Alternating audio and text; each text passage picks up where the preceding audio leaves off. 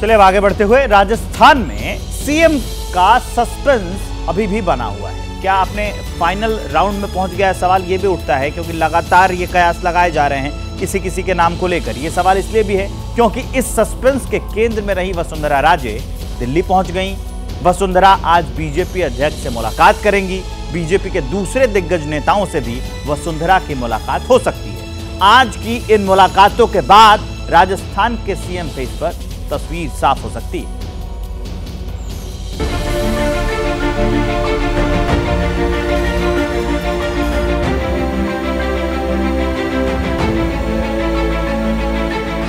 जयपुर से अपनी ताकत दिखाने के बाद राजस्थान की सियासत का केंद्र बनी वसुंधरा राजे दिल्ली पहुँच गई हैं।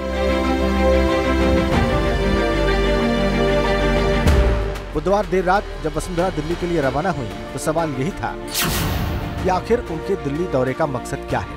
क्या बीजेपी आलाकमान ने राजस्थान के लिए सीएम फेस तय कर लिया है? इन सवालों का जवाब हम बताएँगे। लेकिन पहले सुनिए वसुंधरा ने खुद क्या कहा। मैम आज आई हैं क्या एजेंडा रहने वाला है? सियासत में चुप्पी भी एक अस्त्र है। लिहाजा वसुंधरा ने कोई राजनीतिक बयान नहीं दिया। लेकिन राजस्थान के सीएम पद के लिए चल रही उठापटक के बीच वसुंधरा के दिल्ली दौरे का मकसद सिर्फ़ पारिवारिक नहीं है।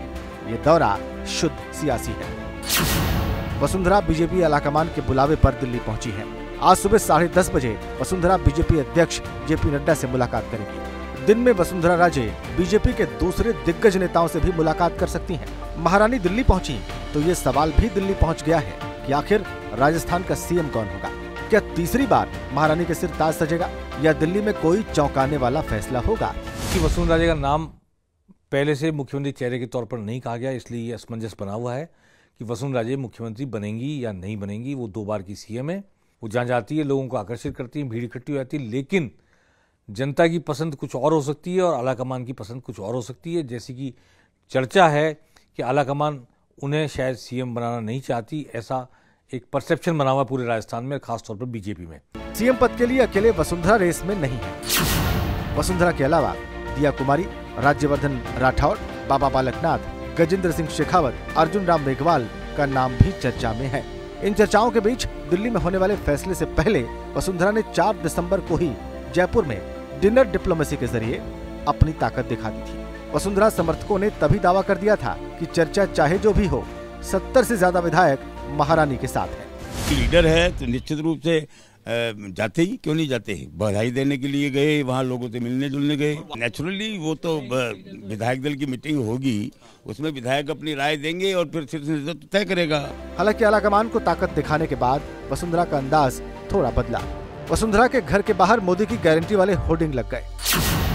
सूत्रों के मुताबिक, पार्टी आलाकमान से वसुंधरा की बात हुई है। वसुंधरा ने पार्टी लाइन के साथ रहने का भरोसा दिया है। राजस्थान बीजेपी के दूसरे दिग्गजों के साथ बीजेपी आलाकमान चर्चा कर चुका है।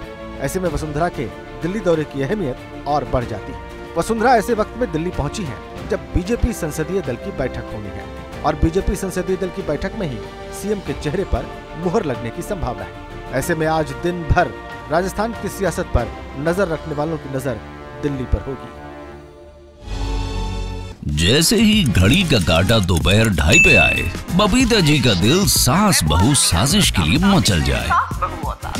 और ये है इनकी बहू। पूरे दिन ऑफ़िस की टेंशन हो जाए, गॉन। जब ये करें अपना फेवरेट शो, फ्री टाइम पे ऑन।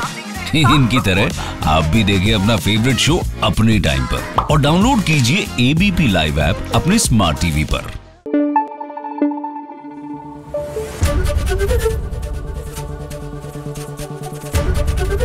ABP news. आपको रखे आगे।